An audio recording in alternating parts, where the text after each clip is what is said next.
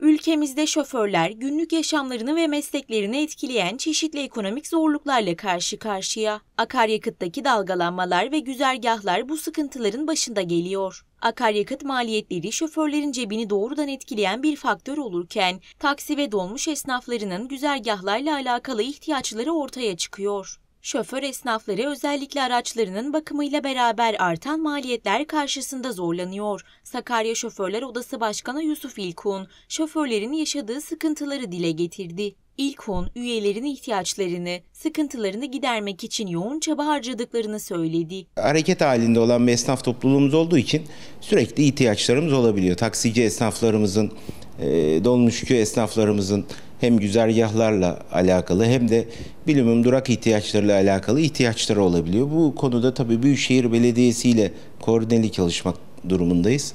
E, o konuda üyelerimizin ihtiyaçlarını, sıkıntılarını gidermek konusunda yoğun çabalarımız devam ediyor.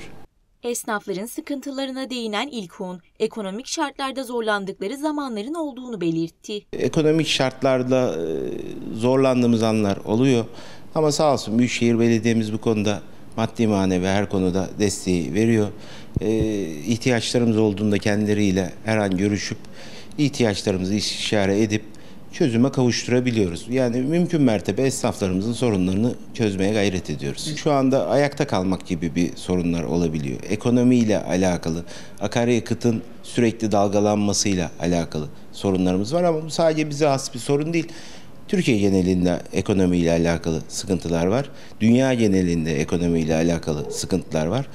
Ee, onun haricinde e, durakların ihtiyaçları ve güzergah problemleri olabiliyor. Bunlarla alakalı da demin dediğim gibi Büyükşehir Belediye'mizde koordineli bir şekilde çalışıp o sıkıntıları giderdiğimizi düşünüyorum. Zam talepleri olabiliyor, güzergah talepleri olabiliyor.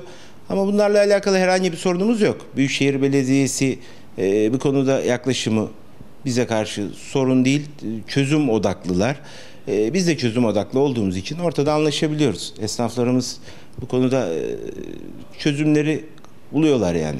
Yusuf İlkun, Türkiye'de plaka sisteminde 1 Ocak 2024 tarihiyle önemli yenilik olduğunu söyledi. Plakalarda kare kod uygulamasıyla vergi kaçakçılığının ve uygun olmayan kaçak plakaların kalkacağını belirtti. Kare kod uygulaması evet 1-1-2024 tarihi itibariyle tüm Türkiye genelinde başladı. Ee, Biraz kayıp kaçağı önlemek, hem devletin vergi kaçağını önlemek, hem e, uygun olmayan merdiven altı diye tabir edilen kaçak plakaların artık olmaması için yeni teskillerde zorunlu yeni teskil muayene ve plakada hasar olması durumunda zorunlu yeni basılan plakalarda kare kod uygulaması var. Tabii ki bu şu an mevcut kullanılan plakaların değişimi söz konusu değil. Bu konuda herhangi bir baskı, herhangi bir acele tavır sergilenmiyor. Ama e, zaman içinde yenilendikçe plakalar veya muayenede geçmeyen hasarlı plakalar sonucunda karekod uygulamasına geçiliyor. E, tabii ki bu da e, hem emniyetin hem İçişleri Bakanlığı'nın hem de e, federasyonumuzun bünyesinde kayıt altında tutulan ve kayıp ikiz plaka diye tabir edilen plakaların önüne geçmek için tasarlanmış bir şey. Kameralar okuyabilecek mi bu kare kodu? Yani söylenen e, mobesaların okuyacağı söyleniyor ama polislerimizin kontrolünde veya muayene istasyonundaki kontrollerde kare kodlan plakanın orijinal mi değil mi olduğunu anlayabilmek için üretilmiş.